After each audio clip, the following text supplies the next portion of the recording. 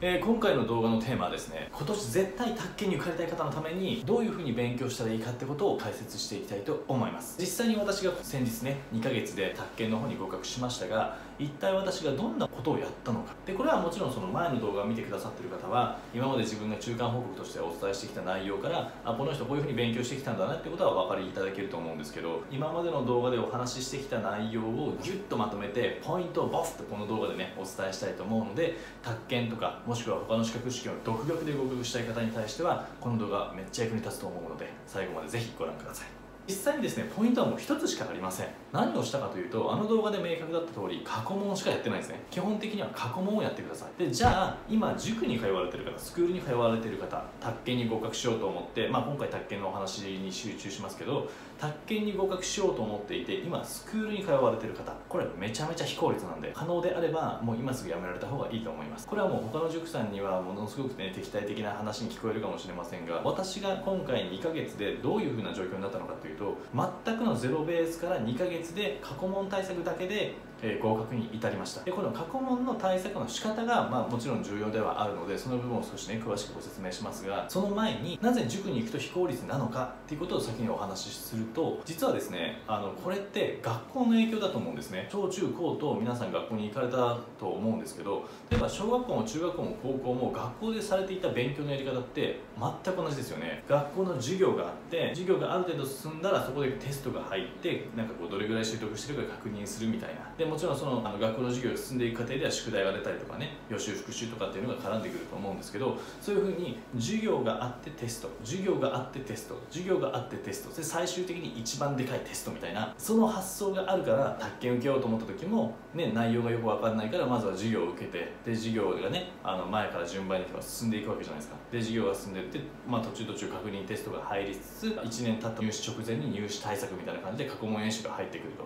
でも実際こう授業バーって受けてきたにもかかわらずその直前期のね過去問対策に入っていくと全然ねこう正解できませんみたいな感じになってモチベーションが下がってしまうみたいなことが多々あると思うんですけどもそういう勉強のやり方をしてたらどんなに時間があっても足りませんよね。それは非効率な勉強のやり方です。申し訳ないけど学校でしている勉強のやり方っていうのは授業をやって授業やってテストやって最後過去問対策みたいなやり方は一番非効率なのでもう絶対やめられた方がいい。で私はなぜ合格したかというとそれをしなかったんですね。塾には行ってないし全部独学でやって中間報告でも伝えしたように過去問対策しかしていません。でもちろんその過去問1冊ともう1冊ね基本となる参考書を使って勉強しましたけども基本的に宅建の対策は過去問対策だけで十分です。問題はどこまで真剣にその過去問に向き合うか。で私は最初受けていく時はそれは全然知識ゼロだから50問中16問とか13問とかしか合わなかったんですよ。でもそれはね別にどうでもいいわけで本番点数が取れればそれまでの過程で満点であれば0点であればどうでもいいんですよ。でその過程でじゃあ何をするかっていうと自分が一体何が分かってないのかを知ればいいわけです。ね1問1問やってって50問ねやり終わった時に16点でした。で16点だけどその16点合ってる部分だってあやふやな知識でね勘で当たってるようなもんだから全部やり直さないといけないんですね。で最初はそういうもんなんです。全部やり直さないといけない。で一問一問やってってわからない単語とか出てくるじゃないですか。用語とか。で言ってる意味がわかんないみたいな。言ってる意味が分かんねえってことは言ってる意味が分かんない理由がどっかにあるんですよ。でその例えばそれは単語の意味が分からないとか独特なね言い回しとかねその表現されてる言い回しが独特すぎて分かんないみたいなそういう時は全部ネットで調べるんですね。スマホがあるんです。今の時代はスマホがある。このスマホを使ってもう分からないのを全部じゃんじゃん調べていくんですよ。じゃんじゃん調べて書き込んでいくんです。でもちろんこれは過去問の使い方にもよるんですけど過去問を何度も何度も使いたい方にとってはいきなり書き込みはしない方がいいと思うんですが私の場合2ヶ月しかなかったので2ヶ月だったら多分何回も解き直す暇がなかったんですよね。何回も解き直す時間はなかったのでいきなりこう書き込みから始めてもちろん直前には34か年分は絶対残してでちゃんとこうテスト形式でやろうと思ってたけど最初のうちはもう1問1問やっていったりその1ページ1ページね丸付けしながらやり進めていってえまずは自分のね分からないところ知らないことっていうのを拾っていく作業に使いました。でこれ最初のうちはめちゃめちゃ時間かかるんですよ。この過去問対策で結果が出るそもそもの理由は何かっていうとこれはですねもしかしたらこの動画を見てくださってる方で今まで宅建を受けられてちょっと合格できなかったよっていう方は心当たりがあるかもしれないんですけども受験制度っていうものを理解していただくと自分が何をすべきかがはっきりします。例えば宅建に合格しようと思った時に宅建に合格するね宅地建物取引士というものの資格試験に合格すればいいわけですよね。でもなぜか皆さんは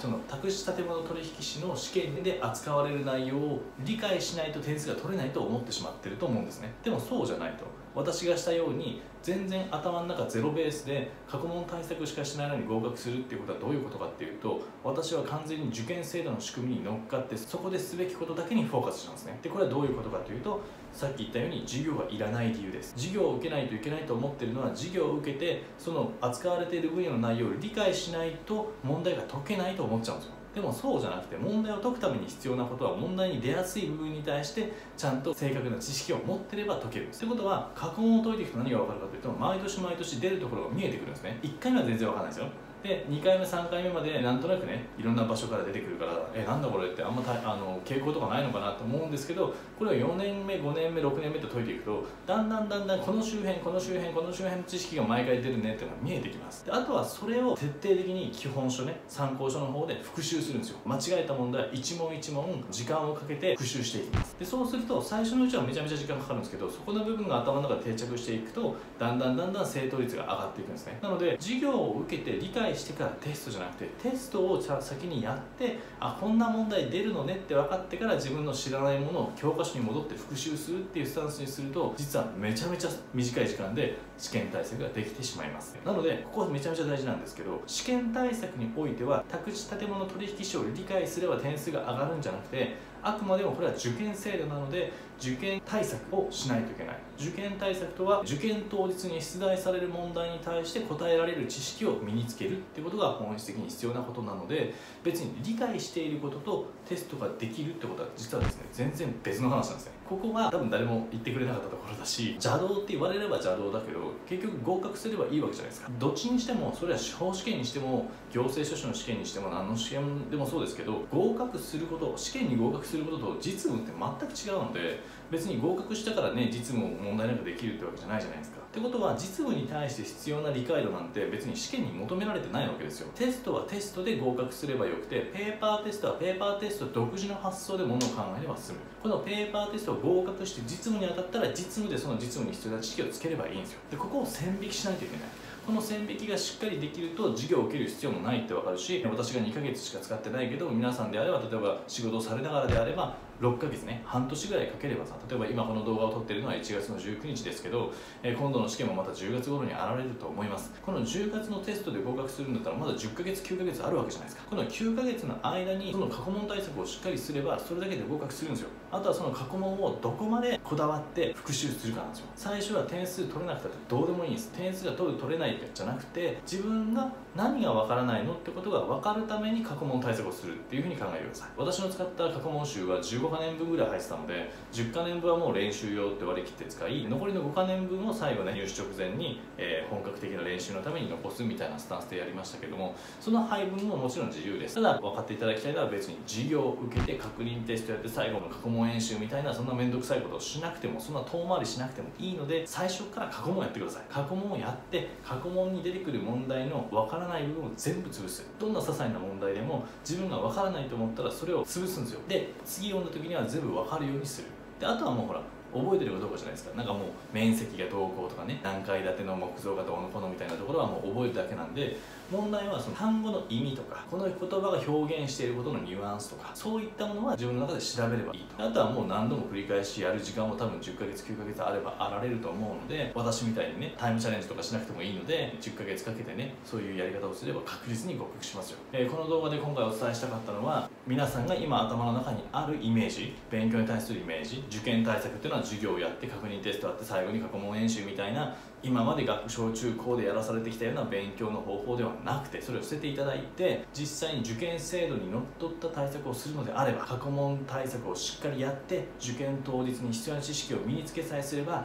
理解がなくても解けるんだってことを分かっていただくといいかなと思います。そして合格がねぐっと近づいてくるかなと思うので、えそうするとねあのスクールとか塾に通わなくてもいいし塾スクールに使うお金も減るし、えそこに通うための時間的な負担も減るしあとは自分のペースで勉強できるようになるので。でこれ自分で勉強できませんっていう方多分資格試験は多分受けてないと思うんですよ。基本的には自分で必要だと思うから受験に対して望まれてると思うのであとはその勉強のやり方が分かんないから塾とかスクールに行くみたいな形になると思うんですがそこをですね今回の動画で分かっていただいていや授業とか理解度とかっていう話とは別ねテスト対策はテストの方法にのっとってやれば OK みたいな。遠回りせんでも過去問対策からしっかりやってあとは自分の感覚で分からないと思ったことに丁寧に答えていく。スマホがあるんだからもうこのスマホで全部解決できちゃうんですよ。あとは基本書を使って紙ベースであった方がいいという方もいるし私は紙ベースもあった方がいいと思う人間だったので両方使ったけどもそういう風にして過去問1冊やり込みさえすれば絶対に合格するのであとはどれだけ自分が間に合わせるための努力をできるかっていうところにかかってくると思います、えー、今回の動画がですねもう今年絶対宅建士に受かりたいという方にね届いて実際にそのきっかけになれたら幸いです。今回もご視聴ありがとうございました。